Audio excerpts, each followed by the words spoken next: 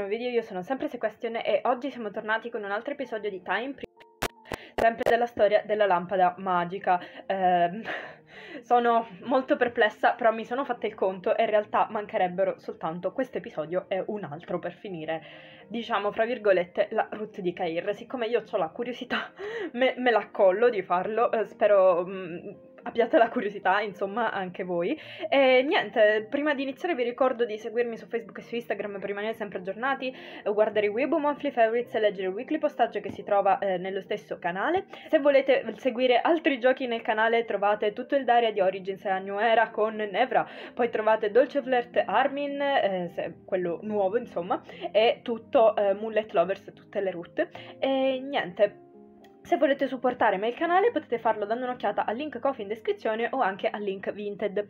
Detto questo direi di continuare, io sono un po' stanca. Allora, non posso starmene qui seduta mentre il primo ministro cerca di impossessarsi del palazzo, devo aiutare Kair. Noi dovremmo avere la benevolenza con Sherazad, dovremmo, quindi spero di fare abbastanza presto. Sì, abbiamo, allora qualcosa è servito alzarla nell'altra rotta, insomma. Takir e io discutiamo il nostro piano di fuga, mentre le guardie fanno un pisolino. Le chiavi sono sul muro, accanto al tavolo da pranzo delle guardie, di solito non se le portano in giro. Fammi pensare, in quali circostanze le guardie potre- porterebbero le chiavi nelle celle? Mentre pensa a una risposta, mi strofino inconsciamente il rubino nella mano. Ho un'idea! Geniale Takir, ho bisogno del tuo aiuto, generale Takir, scusate, eh, bisogno del tuo aiuto per inscenare uno spettacolo. Posso, passo il rubino a Takir attraverso le sbarre di ferro e gli sussurro il mio piano all'orecchio. Per evitare inutili guai, decido di non dirgli da dove viene e mento dicendo che me lo, sta, me lo ha dato Simbad. Ok. Quando abbiamo finito di pianificare, Tagir si sdraia sul fieno della sua cella e finge di dormire, mentre io aspetto il momento giusto. Poco dopo, un rumore nel corridoio indica che una guardia si è svegliata. Mi avvicino alla porta della cella e la vedo mettere via i piatti e uscire dalla prigione, mentre l'altra guardia giace distesa sul tavolo in russa. Ok. Quel tipo potrebbe tornare presto, quindi dobbiamo fare in fretta. Come d'accordo, Takir si ragomitola, tremando e, gemita- e gemendo. Eh, comincia a bussare alla porta della cella. Ehi, guardia, venite presto! Perché tutto questo rumore? La guardia stravaccata sul tavolo si sveglia e viene verso di me con gli occhi spe- spenti. Sta morendo, venite presto! Cosa combini adesso, sciocca? L'uomo nella cella accanto sta molto male, non smette di tremare. La guardia guarda Takir sdraiata a terra e ride. Oh, come ha fatto il potente comandante della guardia reale a trasformarsi in un gattino malato? Andate a chiamare un dottore, presto, potrebbe morire. Il primo ministro lo farà comunque giustiziere presto, potrebbe anche non vedere sorgere il sole domani. Se morisse ora ci risparmierebbe la fatica. C'è, c'è qualcosa di luccicante nel fiano dove è disteso. La guardia si era allontanata con uno sbadiglio, ma torna alla porta della cella, strizzando gli occhi mentre guarda dentro. Nella cella buia la luce della finestrella brilla sul rubino, rendendolo ancora più luminoso. Improvvisamente vigile, la guardia prende rapidamente le chiavi e apre la porta della cella. La guardia dà un calcio a Takir, vedendo che Takir non risponde, raccoglie il rubino con un sorriso. Eh, eh, un tesoro come questo non deve andare sprecato per un prigioniero condannato a morte. Deve essere riempito le tasche abusando della sua autorità, va confiscato. Il guardiano giocherella con il rubino soddisfatto. Appena si volta, Takir salta improvvisamente in piedi. Well. Dopo aver messo fuori combattimento la guardia e aver preso le chiavi, Takir mi restituisce il rubino. Dobbiamo andarcene prima che qualcuno ci trovi, dobbiamo cambiarci, le nostre identità saranno evidenti se rimarremo in questi uniformi. Hai ragione. Ok. Ci cambiamo, io non ho idea di come vestirmi, ma voi vedrete il look finale. Ok, sì, ci è andata più che bene, per questo di qua. Non male. Allora, fuori scopro che ha smesso di piovere. Il primo ministro rinchiuso da... avrà rinchiuso Kair da qualche parte, dobbiamo salvarlo. Il primo ministro potrebbe uccidere Kair se non ci sbrighiamo. Non dobbiamo preoccuparci della sicurezza del principe in questo momento. Il primo ministro ha ancora bisogno di lui per costringere il re. Dobbiamo prima di tutto garantire la sicurezza del re. Spero che non sia troppo tardi. Non c'è tempo da perdere, generale Takir. Affrettiamoci a raggiungere la camera del re. Ahimè, se non fosse per questa crisi non metterei mai in pericolo una ragazza giovane come te. Kair è un amico importante per me. Farò di tutto per aiutarlo. Il generale Takir mi dà una pacca sulla spalla e fa accenno di approvazione. Ok. Quando arriviamo nella camera del re, vediamo due guardie alla porta. Per fortuna non ci sono altri soldati in vista. Takir coglie l'attimo e fa fuori le guardie così velocemente che non emettono nemmeno un suono. Trasciniamo le guardie svenute nei cespugli, afferrando le chiavi della camera da letto da una delle cinture. Ok. Generale Takir, perché siete qui? Chi è questa ragazza? Sono Gina, un'amica di Kair. Ho partecipato a un banchetto a palazzo, forse non vi ricordate di me. Mi ricordo, hai salvato la vita di Sua Maestà e partecipato alla cerimonia di investitura del principe ereditario. Cosa fai? Cosa fai insieme al generale Takir? Vostra Maestà, la situazione è terribile. Vi dirò tutto una volta fuggiti da palazzo. Scorterò voi e Sua Maestà lontano da qui mentre è ancora buio e poi cercherò di salvare il principe. Non funzionerà. La regina emette un pesante sospiro. Seguendo il suo sguardo vedo il re disteso sul letto. Il re ha avuto una ricaduta quest'autunno e dorme per la maggior parte del tempo. È troppo difficile per lui allontanarsi in queste condizioni. Ma non potete restare qui seduti ad aspettare la morte. Il primo ministro non commetterà il peccato di eh, regicidio a meno che non abbia altra scelta. Vuole che abbandoniamo la speranza e, consegniamo trono, e gli consegniamo il trono. Il primo ministro ha chiaramente lanciato un incantesimo maligno sul re. Quell'incantesimo non gli ha tolto la vita, Prima dell'investitura di Cair il primo ministro teneva ancora le redini del potere, sarebbe salita al trono se il re fosse rimasto addormentato. Vostra Maestà, le cose sono cambiate, sono certo che il primo ministro stia facendo un tentativo disperato di prendere il potere. Non potete rimandare tutto questo, il primo ministro perderà presto... no, no, non ho letto. Aspetta, ho scoperto che c'è questo, il primo ministro eh, perderà presto la pazienza. Ok, ho scoperto che c'è la clessidra, che mi dimentico perennemente che c'è per poter rileggere i dialoghi vecchi. Eh, il re improvvisamente mette un gemito. Takir e io guardiamo entrambi verso il letto e la regina si precipita al fianco del re. Il re cerca di alzare la mano destra e di indicare un arazzo sul muro proprio di fronte a lui. Sua maestà vuole questo arazzo. Mi avvicino al muro. Quando cerco di togliere l'arazzo, scopro un nascondiglio dietro di esso. All'interno della nicchia c'è un, piano, un panno traslucido piegato su un piatto d'oro. Gina, di che si tratta? Tiro fuori con attenzione il piatto e lo metto accanto al letto. Questo. questo è il mio mantello d'argento. La regina lo raccoglie incredula e lo apre dolcemente. L'abito è sottile come le ali di una libellula, delicato e splendido, non sembra appartenere a questo regno. Sherazad, il palazzo è sotto il controllo dei ribelli, non puoi stare qui. Con questo mantello puoi usare la magia per fuggire, non preoccuparti per me, vai presto. Usare la magia, sua maestà è una maga. Vengo da una famiglia di maghi delle province occidentali, questo mantello d'argento è un cimelio di famiglia. Più di anni fa, quando le province occidentali hanno promesso fedeltà al regno, io e il mantello d'argento siamo stati donati alla famiglia reale in segno di lealtà. E ora il re sta cercando di restituirmi la libertà. Con le lacrime agli occhi, la voce della regina trema mentre tiene la mano del re. So che hai sempre avuto nostalgia di casa, ho pensato spesso di restituirti il mantello, ma temevo che te ne andassi e non tornassi in più. Il vecchio re tossisce mentre parla e la regina siede sul bordo del letto, accarezzandogli dolcemente la schiena. Mi infastidiva il pensiero di essere solo qualcosa di, cuorino, di carino da guardare, come un uccello in gabbia. Ma gli anni trascorsi con te mi hanno reso molto felice. Non posso abbandonarti in un momento di crisi. E... Vabbè, io direi incoraggia la regina a rimanere, visto che lo ama tanto. Ok. Vostra Maestà, eh, la regina non può andarsene con la coscienza pulita se voi siete ancora in pericolo, giusto? Inoltre non solo il palazzo è stato conquistato, ma la capitale brulica di libelli che lavorano per il primo ministro. Non è sicuro per Sua Maestà andarsene da sola, è meglio che rimanga, troveremo una soluzione insieme. Gina ha ragione, devo restare qui a tenerti compagnia durante la crisi. Inoltre con il mantello d'argento possiamo cambiare le cose. Come funziona il mantello d'argento? Basta solo indossarlo e poi apparire come chiunque tu decida. È fantastico, Vostra Maestà, me lo prestereste, posso trasformarmi in un potente guerriero, poi il generale Takil e io lo scarceremo ribelli, temo che non accadrà. Il mantello d'argento crea solo un'illusione, per, cambiando l'aspetto e la voce di chi lo indossa. E non importa quanto siate abili, due combattenti non sono sufficienti. Bene, allora posso trasformarmi in qualcuno che può muoversi liberamente nel palazzo. Poi, qualunque cosa accada, sono in grado di fare ogni genere di cose per gestire la situazione. Improvvisamente ispirata, mi viene un'idea meravigliosa. Eh, trasformati nel primo ministro ovviamente. Esatto, posso trasformarmi nel primo ministro. In questo modo posso dare ordine ai ribelli, liberare Cair e smobilitare i ribelli delle province occidentali. E se incontrassi il primo ministro in persona? Se questo accadrà, combatterò contro di lui e condurrò i ribelli alla loro fine. Non si possono ingannare così facilmente gli scagnozzi del primo ministro. Verrai uccisa. Quando scopriranno il tuo stratagemma, il destino del regno della luna piena in bilico, non fate niente di avventato. Giusto, in questo caso... Ok, mi trasformerò in Chapur. Va bene. Potrei trasformarmi in Chapur, l'astrologo di palazzo assunto dal primo ministro. Chapur A pensarci bene, sono giorni che non lo vedo a palazzo. Mi è capitato di ascoltare per caso una conversazione tra il primo ministro e Chapur il giorno della cerimonia di investitura del principe ereditario. Immagino che sia sempre stato consapevole del complotto del primo ministro, ma non ha voluto partecipare a questo colpo di Stato. Se prendessi le sue sembianze, avrei libero accesso al palazzo e potrei cercare informazioni senza dovermi imbattere in lui. Ok, dividiamoci, pensate un modo per trovare e salvare il principe. Vado a cercare le vecchie truppe della Guardia Reale, che per lo più stanno solo obbedendo al primo ministro sotto minaccia. Per, se riusciremo a radunarli, potremo combattere i ribelli. Generale Takir Regina, contiamo su di voi. Proteggerò Sua Maestà. Se il primo ministro cercherà di costringerlo ad abdicare, prenderò il tempo. Prenderò tempo? Non preoccupatevi, Maestà. Abbiate cura di voi e aspettateci. Ok.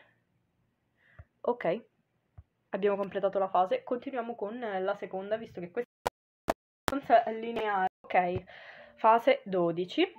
Sì, ce l'abbiamo la benevolenza con cosa 5 finalmente.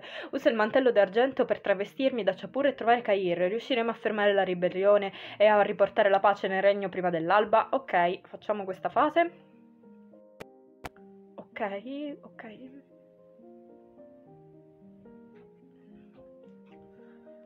Il mantello d'argento è leggero come una piuma, nel momento in cui lo indosso sono avvolta da una luce bianca. Recito inseg- l'incantesimo insegnatomi dalla regina. Dopo pochi secondi la luce bianca scompare e provo una sensazione di calore. Il mantello d'argento si è fuso con la mia pelle. Ok.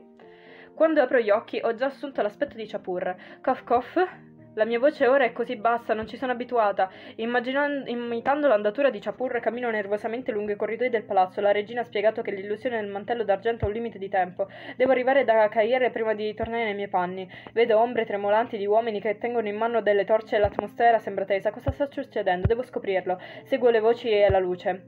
Lord Chapur, pensavo aveste lasciato il palazzo. Fuori dalla biblioteca reale, due guardie mi si avvicinano di sorpresa. Ho una grande confusione in testa, ma sono comunque ancora in grado di imitare con compostezza il tono di Chapur c'è stato un cambio di programma. Il primo ministro mi ha chiesto di controllare la situazione. Cosa succede laggiù? Cosa facendo, sta facendo quella Ford?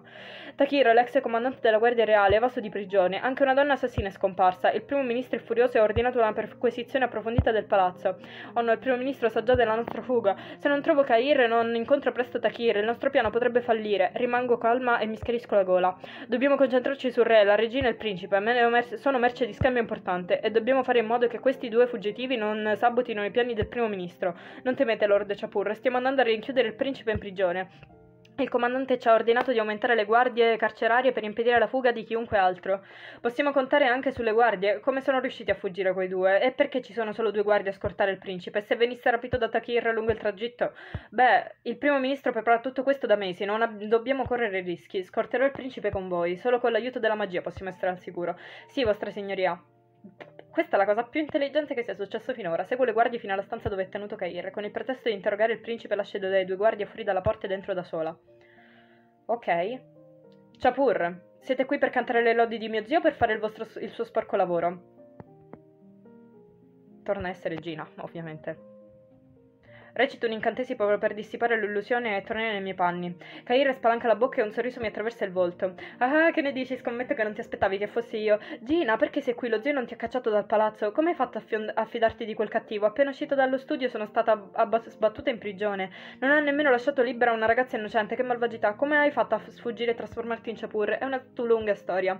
Racconta a Chapur tutto quello che è successo da quando sono stata sbattuta in prigione. Kair mi guarda sbalordito. Quando finisco di raccontare la storia si sente in colpa. Non non sono stato in grado di proteggerti e tu sei venuta a salvarmi, mi vergogno tanto. Grazie Gina, mi hai salvato ancora una volta in un momento di crisi. Come detto prima, siamo amici per la vita. Andiamo Kair, il re e la regina ci aspettano con il generale Takir. È il momento di, contra- di contrattaccare. La pallida luce del mattino brilla attraverso la finestra, illuminando tutto ciò che si trova all'interno della stanza. I disordini ver- dovrebbero essere finiti ora che è l'alba. Kair afferra l'elsa della sua scimitarra. Ok. Accompagno Kair mentre combatte contro soldati a caso che, sblo- che bloccano la strada e mi precipito nella camera del re. Ma arrivano sempre più guardie e ci intrappolano prima di riuscire a raggiungerla.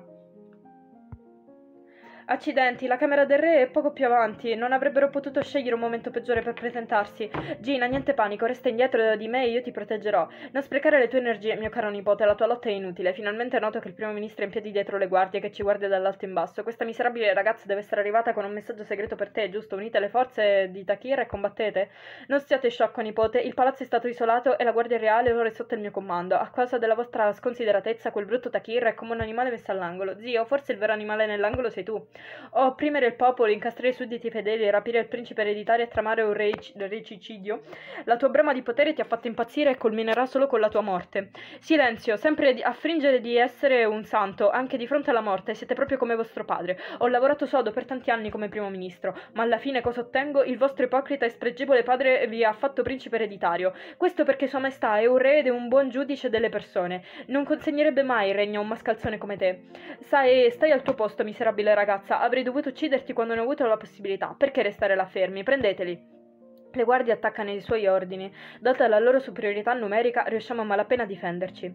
Kair, Proprio mentre una guardia sta per infilzare Kair, qualcuno bazza in avanti e devia la lancia. Nessuno alzerà un dito su Sua Altezza finché ci sarò io. Takir, la gui- alla guida di un gruppo di uomini fedeli, si getta nella mischia per affrontare le guardie del primo ministro. Urla minaccioso e le guardie davanti inciampano gli indietro per paura. È solo un uomo disperato. Di cosa avete paura? Uccidetelo. Le guardie si muovono con esitazione. Hanno, avu- hanno paura di avvicinarsi.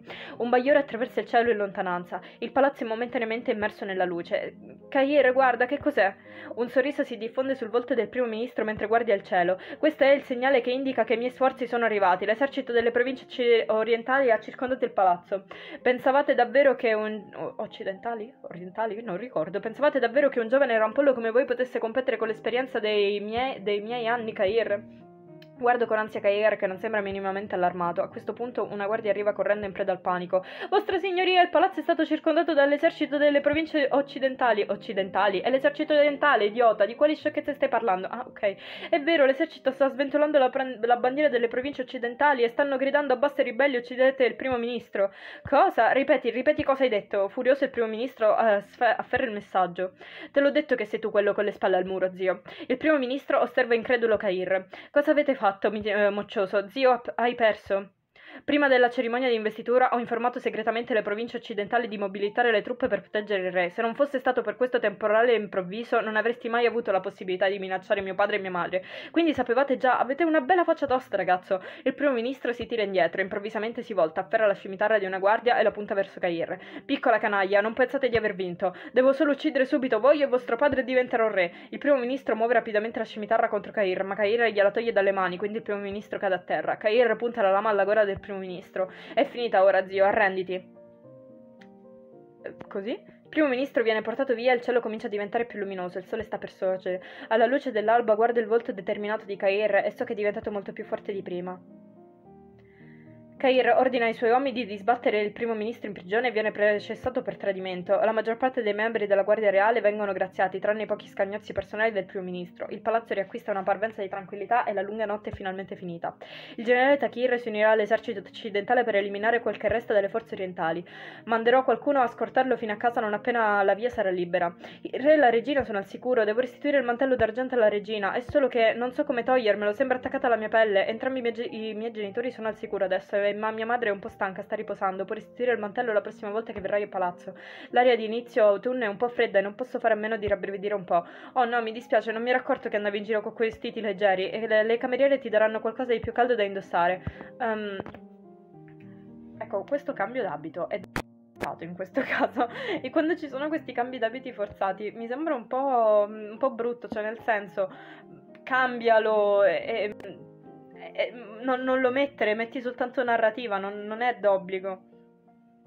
Ok, abbiamo un buono, sì, ci accontentiamo, insomma.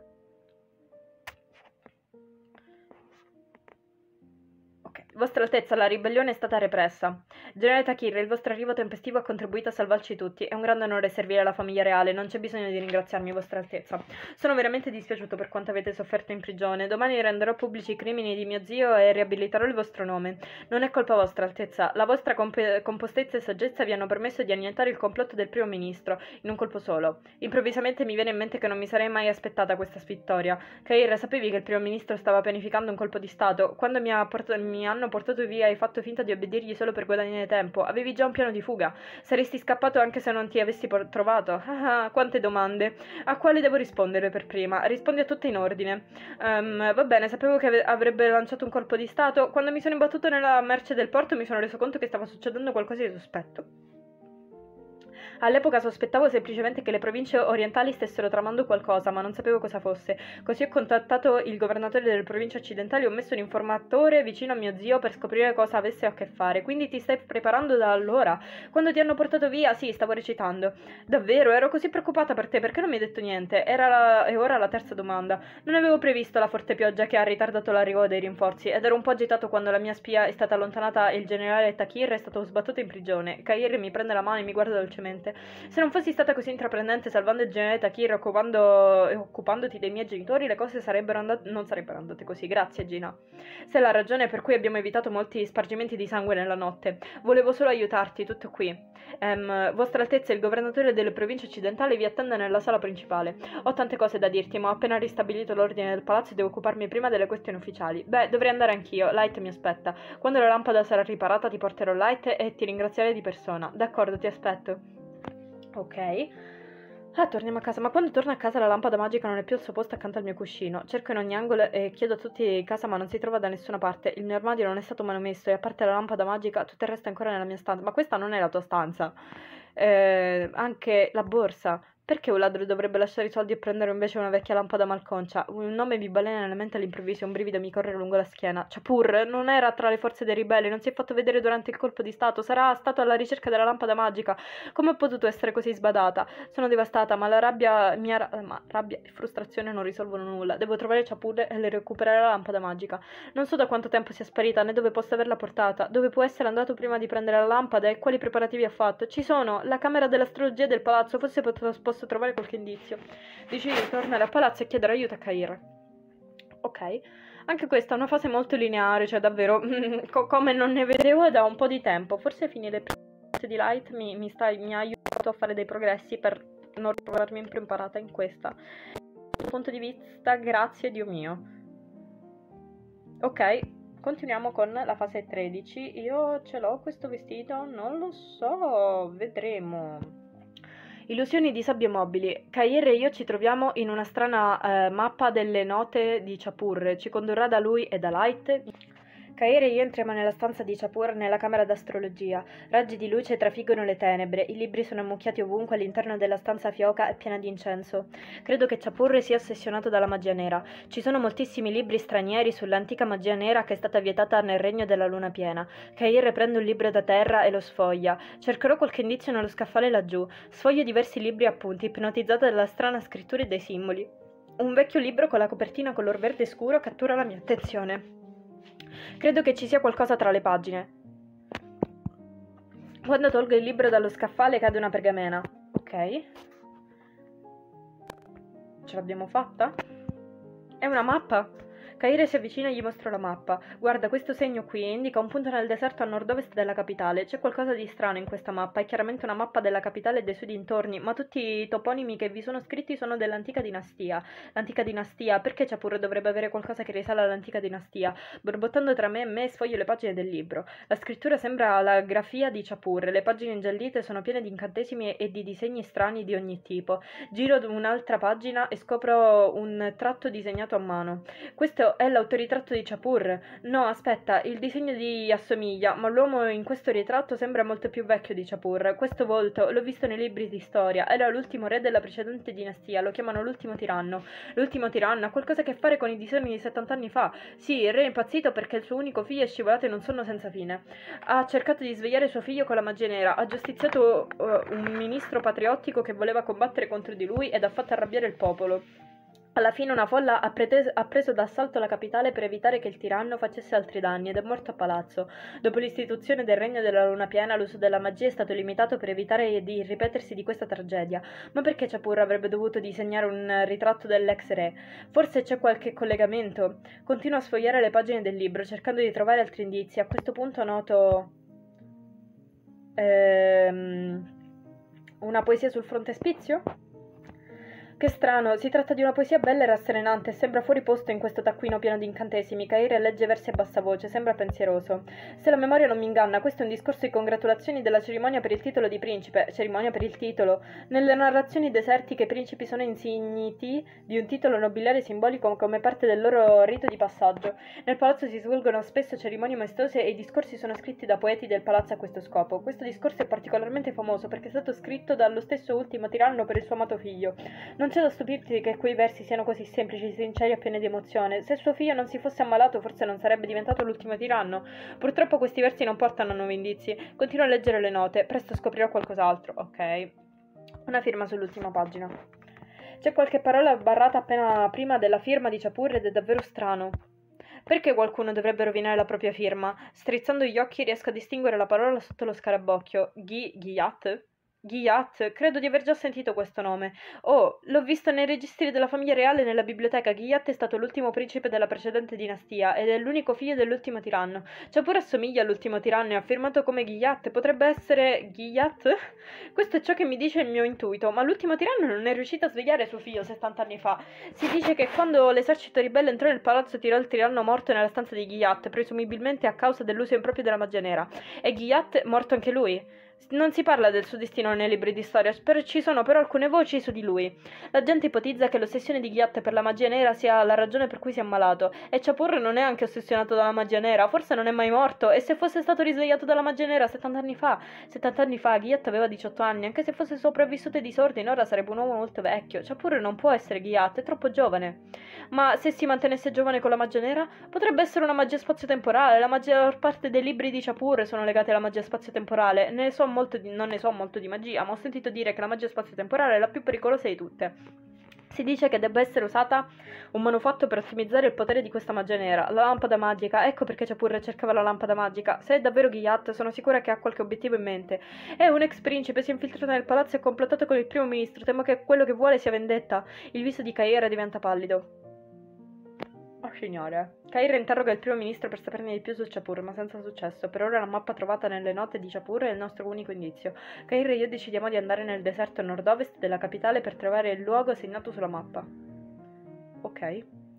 Lascio una lettera per Simbad la mattina della nostra partenza. Mi dispiace molto, Simbad, ma questa furfantella sta di nuovo sgattaiolando via. Se torno sano e salva, prometto di lavorare sodo e di smettere di andare a zonzo. Non so quanto dovremo camminare, il deserto può eh, diventare gelido di notte, così decido di mettere un abbigliamento caldo e pratico. Ok.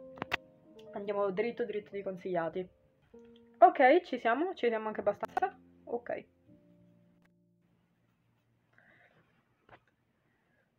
Allora, prima di partire mi guardo di nuovo intorno, controllando tutti gli armadi e i cassetti per assicurarmi che non manchi nulla. Nell'armadietto vicino al mio letto trovo il ciondolo che avevo con me quando sono arrivata. Proprio come prima il cristallo del ciondolo brilla di una luce misteriosa ma confortante. Se sei davvero il mio portafortuna, ti prego di benedire la mia visione e farmi trovare la lampada magica. Appendo il ciondolo in vita sì, è una cosa molto intelligente che stai facendo. Cairo e io ci avventuriamo nel deserto protetti da un gruppo di soldati scelti. In base ai nostri calcoli la posizione segnata sulla mappa dovrebbe essere vicina. Ho controllato i nostri registri storici e ho scoperto che l'ultimo tiranno ha costruito un capanno di caccia per Ghiat qui. Se, qualcosa, se qui che si nasconde Chapur allora potrebbe davvero essere Ghiat. Se siamo vicini perché vediamo solo la sabbia nel deserto intorno a noi? Non si vede nemmeno una, scu- una scuca supola di fango, figuriamoci un capanno di caccia. Improvvisamente davanti a noi si sentono grida dei soldati e il nitire di cavalli spaventati. Attenzione, sono sabbie mobili! Proteggete la vostra altezza! I soldati precipitano nel caos. Kair mi prende la mano e ci fermiamo, ma è troppo tardi. Stiamo già cominciando ad affondare. Come se si fosse stata afferrata da mani invisibili, più mi sforzo più affondo. Kair! Gina, tieni forte a me e non mollare. Gli tengo stretta la mano e veniamo inghiottiti dal mare di sabbia. Sto fluttuando nell'oscurità come un granello di polvere, non ho idea di dove sia diretta. Sperduta, sento una voce debole che chiama dolcemente il mio nome. Gina, Gina, Gina, quello è Kair? Meraviglioso, finalmente ti sei svegliata. Dove siamo? È un'illusione, probabilmente. Nella mia stanza. Sei rimasta incosciente per 15 giorni. Incosciente? Non ti ricordi? Siamo stati risucchiati nelle sabbie mobili e abbiamo quasi perso la vita. Fortunatamente il generale Takir è arrivato con i suoi soldati appena in tempo salvandoci tutti, quindi siamo tornati a mani vuote. No, mentre tu eri priva di senti ho inviato un gran numero di truppe nel deserto per indagare. Hanno trovato l'ex capanno di caccia del principe, che era esattamente dove diceva la mappa, ma il capanno è crollato ed è quasi completamente sprofondato sotto le dune, lasciando solo rovine. E c'è pure la lampada magica ha ordinato ai soldati di scavare tra le rovine. Dopo tre giorni e tre notti hanno trovato un altare fatiscente e il corpo di Chapur, ma non sono riusciti a trovare la lampada magica. Oh no! Le sabbie mobili sono pericolose, molti soldati sarebbero morti se, continuato, se avessero continuato a scavare. Quindi abbiamo dovuto smettere, mi dispiace tanto Gina. Io capisco.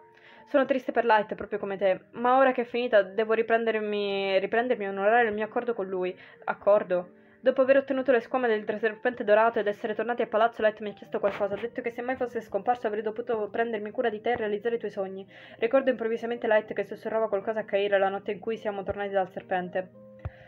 Sì, ok, ce lo ricordiamo tutti, eh, basta che ci rivediamo. È un segreto tra me e il principe. Eh, quando siete diventati così intimi, sì, ok, sì, sì, ce lo ricordiamo. Però questo qui è solo un'illusione. Light è sempre stato così burbero ma gentile, arrogante ma presuntuoso. Non ho fatto niente per lui. Non mi sono nemmeno accorta che qualcosa non andava finché non è stato troppo tardi. Gina, smettila di sentirti in colpa. Light non vorrebbe che lo facessi. Rimettiti in sesto. Abbiamo ancora molti ostacoli da superare. Kair mi prende la mano e mi guarda con tenerezza. Dobbiamo ristabilire l'ordine e l'armonia dopo tutto quello che è successo. Mio padre è ancora confinato a letto, quindi devo assumermi questa responsabilità. Gina, mi aiuterai? Sono solo una servitrice di Simbad. Come potrei aiutarti a governare il regno? Hai recuperato le squame del serpente dorato, hai risolto la crisi durante il colpo di Stato e hai indicato la vera identità di Chapur. Hai salvato il regno dal pericolo di molte volte. Nessun saggio potrebbe mai paragonarsi a un servitore accorto e pieno di risorse come te. Il suo sguardo appassionato mi fa arrossire e chino il capo, incapace di guardarlo negli occhi. Gina, sposami, farò del mio meglio per proteggerti. Non è questo il capitolo in cui ti sposeremo. Prendimi cura di te e realizzare i tuoi sogni. Questo è ciò che ho promesso a Light, ma anche il mio desiderio più profondo. Per favore, accetta. Io. no. No. Incerta, scuoto la testa. No. Prima Light. No, non posso sposarti. Perché no? Non vuoi stare con me? Mi sento così disorientata. Chapur è davvero morto nelle sabbie mobili e la lampada magica è stata sepolta insieme ai suoi piani malvagi? È finito tutto così in fretta e stranamente. C'è qualcosa che non va. Sei stata incosciente per tanto tempo. Ci vorrà un po' prima che ti renda conto della realtà. È tutto finito e siamo sopravvissuti. Il regno della luna piena ha evitato una crisi. Perché preoccuparsi di cercare altri problemi, Gina? Meriti di goderti la pace e la felicità per il resto della tua vita. Perché Kair dice una cosa così egoista. Non è fatto da lui. Scruto l'uomo che mi sta davanti e il suo sorriso mi sembra sempre più strano. Tu non sei Kair.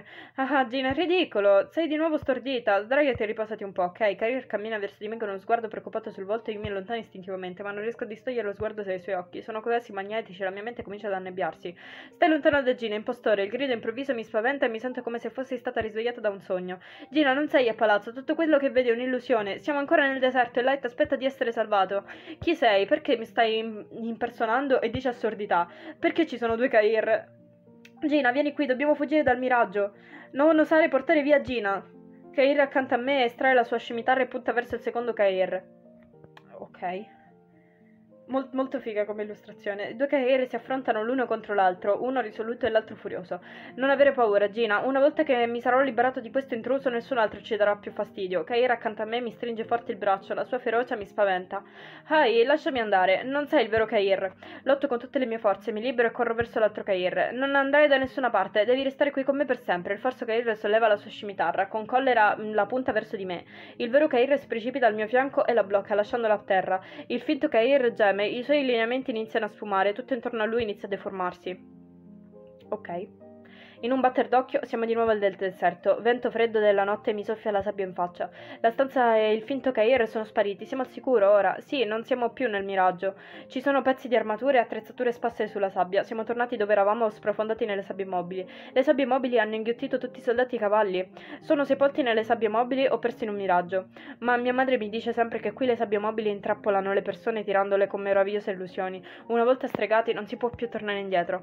Ci è mancato poco. La visione falsa di te mi ha quasi ingannato, sapeva tutto quello che ho passato, sembrava in grado di leggere i miei ricordi. Ciò che le persone vedono nel miraggio si basa sui loro più segreti più profondi. L'oscurità nei nostri cuori è il vero male. Il finto principe cercava di intrappolarmi con la mia stessa vigliaccheria. Con la mia stessa vigliaccheria. Sei arrivato giusto in tempo. Aspetta, come hai fatto a trovarmi? Perché non hai avuto miraggio anche tu? Ho visto un enorme specchio. Tu e il finto principe eravate dentro lo specchio, ma tu non potevi vedere e la mia voce non poteva raggiungerti. Quando ca- hai capito l'illusione, lo specchio si è frantumato. Sono stata improvvisamente in grado di fuggire. Mi hai salvato, Gina. Grazie per aver visto il vero me. Kair, io Ah, siete venuti in questa notte buia e ventosa solo per sussurrarvi dolcemente qualcosa, che meraviglia. Nuvole scure coprono la luna, c'ha pure in piedi su una duna di sabbia dalle vicinanze ci guarda freddo. Non mi aspettavo sfu- che sfuggissi al miraggio, immagino che tu non sia così inutile dopo tutto. E ridammi la lampada magica, sporca ladra. Sporco ladro? Nelle stupide manine la lampada magica è buona solo per trucchi appariscenti. Io tuttavia posso dimostrare il suo vero valore. Chapur alza la bacchetta e recita uno strano incantesimo. La sabbia sotto i suoi piedi comincia a muoversi rapidamente in cerchio formando un vortice. E quindi? Visto che siete arrivati fin qui, vi lascerò assistere a un grande miracolo prima di morire. Dal vortice emergono lentamente rovine dissestate. La lampada magica alleggia sopra le rovine, avvolta in un minaccioso fumo nero. Ok, abbiamo finito la fase, molto carina comunque l'illustrazione e comunque tutto sommato questa è stata un lineare. Prossimo episodio quindi eh, state aggiornati insomma e niente, io vi invito a recuperare magari sono più interessanti e niente, se il video vi è piaciuto mettete mi piace, commentate, condividete e iscrivetevi al canale. Ciao a tutti!